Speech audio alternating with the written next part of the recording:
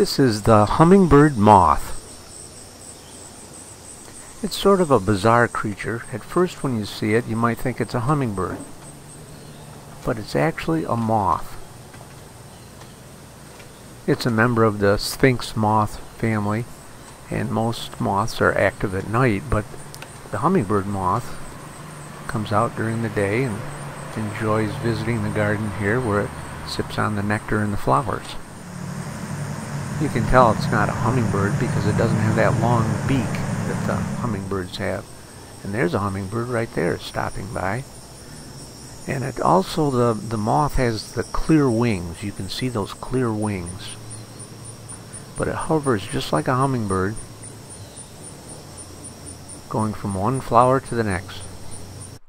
In slow motion you can see those clear wings and also the fan-like tail on the hummingbird moth.